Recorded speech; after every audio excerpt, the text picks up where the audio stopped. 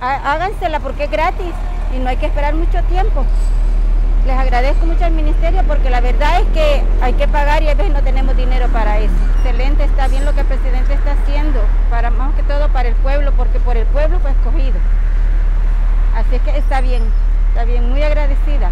A Dios y después a él.